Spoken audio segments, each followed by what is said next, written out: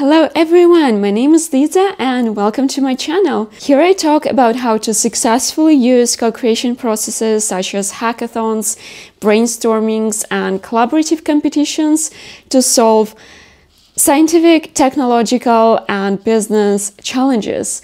And today I really want to talk about rules of an efficient organized co-creation process that will help to get the most out of your time and your efforts. I've gathered 10 rules that I saw myself in different collaboration projects.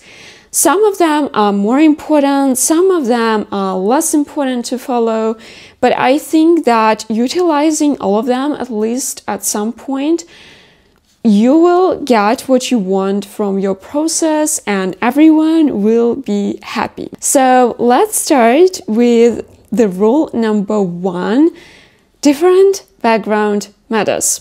Probably it's not the most essential one, but it is quite important in my opinion. It doesn't matter which co-creation process you organize and which problem you are solving, whether it's a business problem or it's a scientific problem.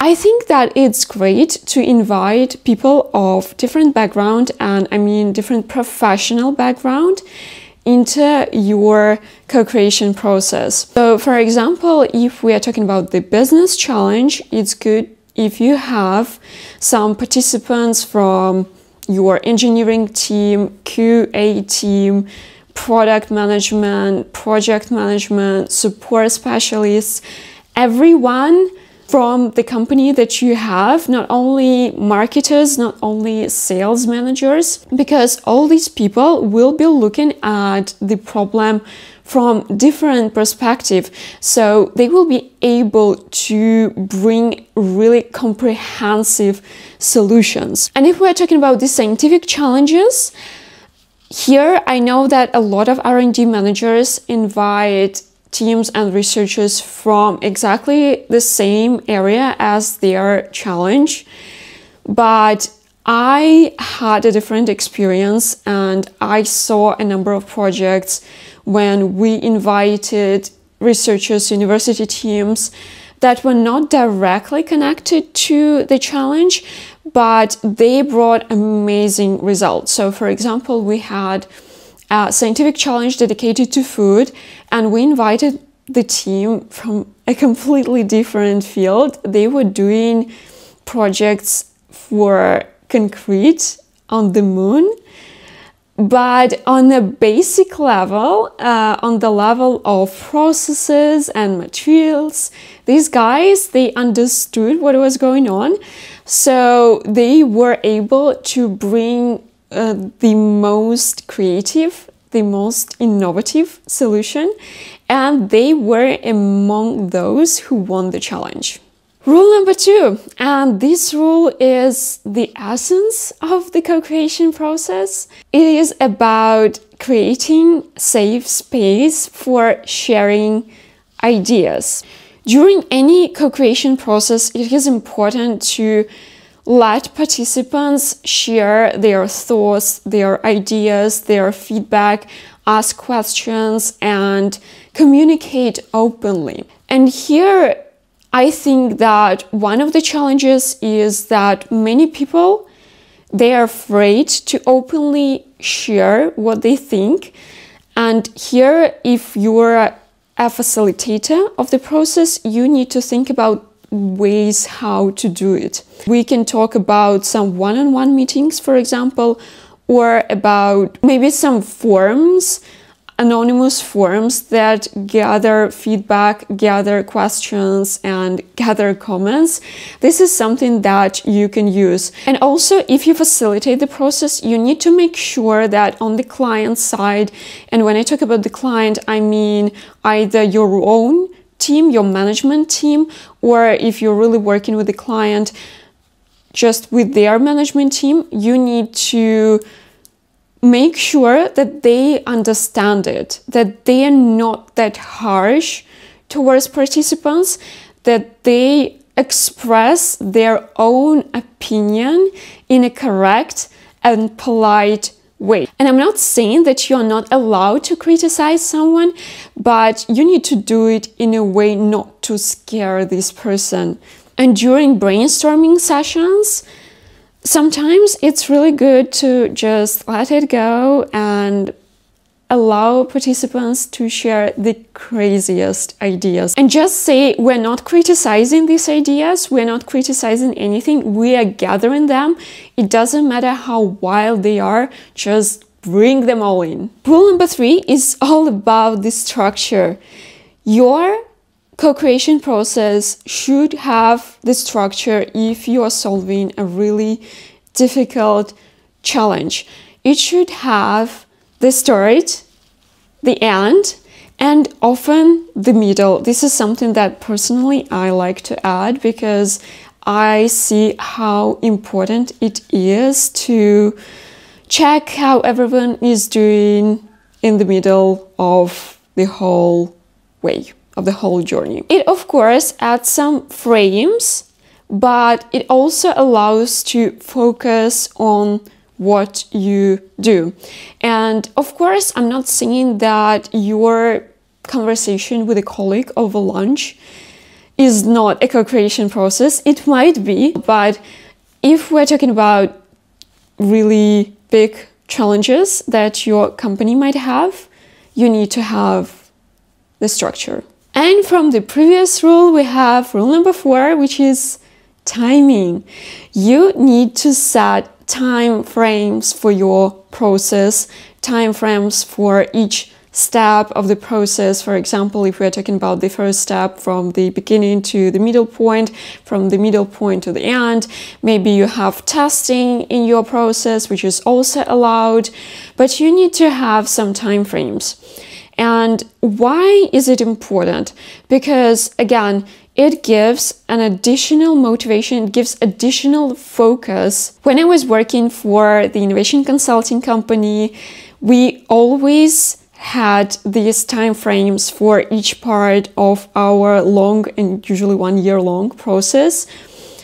And of course, it was difficult to keep up with timing because it's quite challenging to work with different parties with universities, with companies, a lot of legal issues on the way, but still each part was of a certain time frame. So for example, like three months, and then I don't know, two weeks, then three months again, something like that. And it helped us to be more efficient with the timing. And also, again, because you kind of squeeze this co-creation into a limited time frame, you get more focus and often you get more bright ideas. It shouldn't be too crazy, of course, and you should keep in mind the difficulty of the problem you're trying to solve. But in general, putting these tight time frames, it helps. Also, because you want your participants to work extra hard, you cannot expect them to do it for a long time. You cannot say, oh yeah, guys, like you have five years and you should work so hard to find the solution. It's just impossible. You will burn out really quickly. And that's another reason why you need these time frames. Rule number five, and it is connected to motivation for the teams. You know, it's of course a good feeling to win something, to win the hackathon, for example. But when you invest a lot of your time and a lot of your efforts and a lot of your brain power, you want to get something in return. Something that is going to be beneficial for you. So, this is why if you organize a co creation process, you need to think about some incentives. And in most cases, it is, of course, about money. So, given a financial award is probably the best thing that you can do for the participants of your hackathon or collaborative competition or whatever. It doesn't matter. And I'm talking about having internal hackathon when you do it only within your own team and it also it is also connected to an external hackathon or hybrid It doesn't matter where participants are coming from. You still need to give something special for them, at least for the winners. Sometimes, if you work for a large company, you might have some other incentives. For example, if you have a lot of candidates to work in your company, you might want to offer positions. I think this could also be a good motivation, but in general, the financial award will probably be the best and should be the main solution.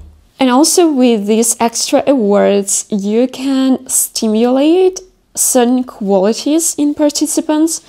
For example, you can give awards for the most innovative, creative solution, or you can additionally stimulate co creation itself. And I think for scientific challenges, it is probably the most difficult topic because researchers rarely want to share knowledge with others.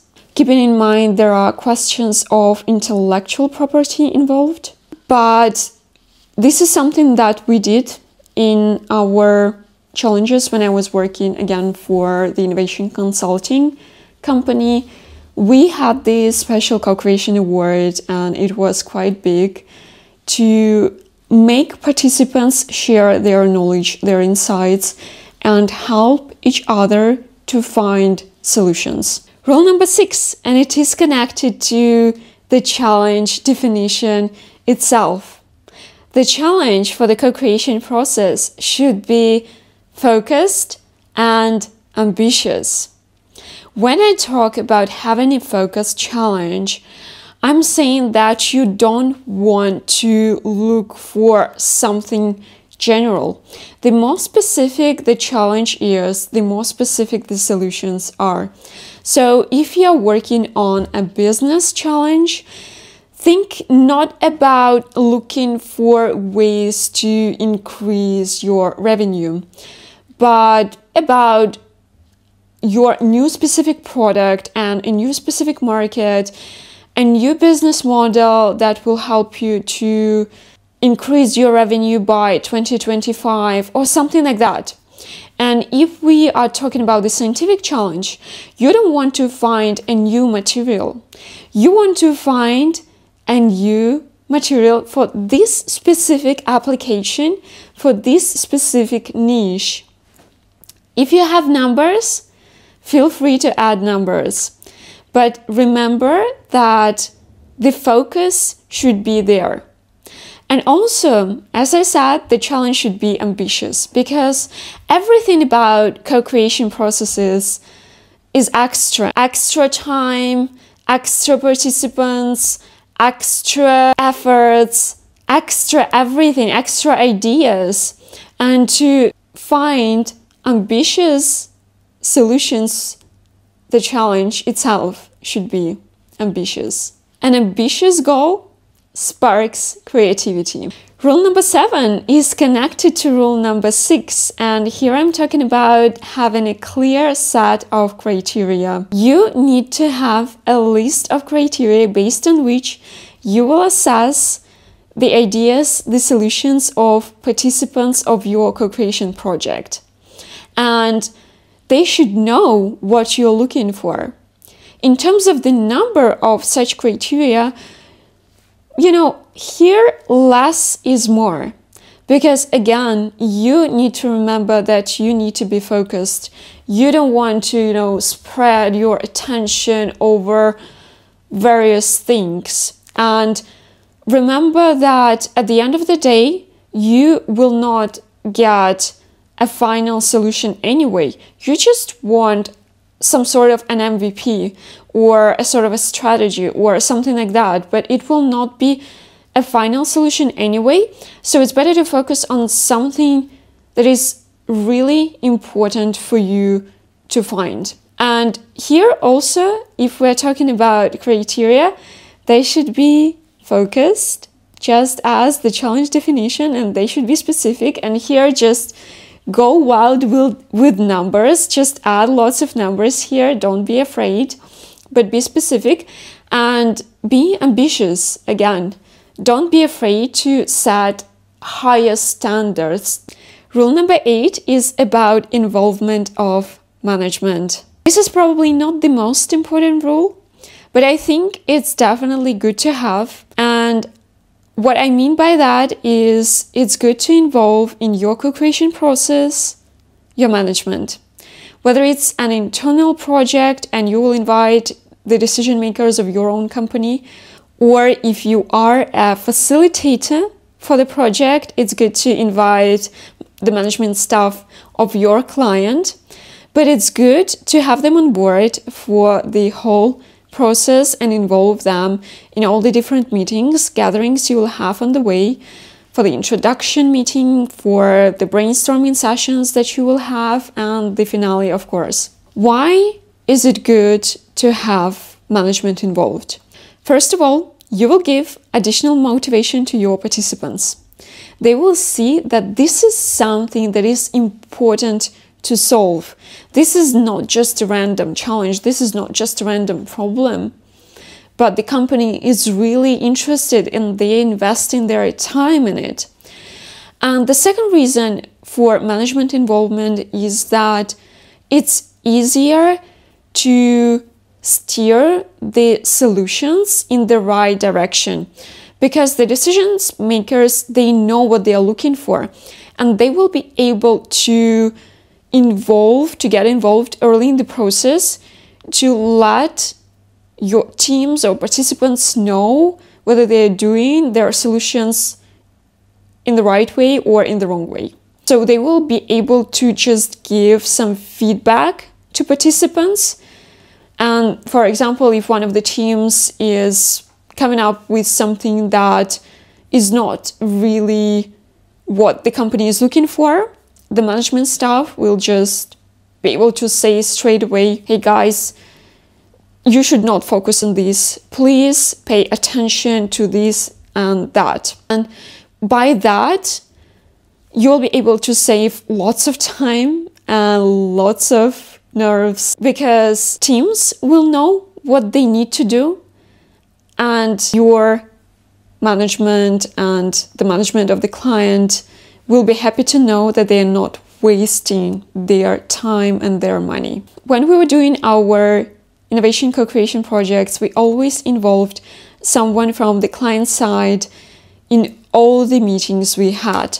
There were, there were always a project leader who participated in every session and there were also other participants from the client side. So we were able to get all the information we needed at any time and also our university teams were able to get this first-hand feedback.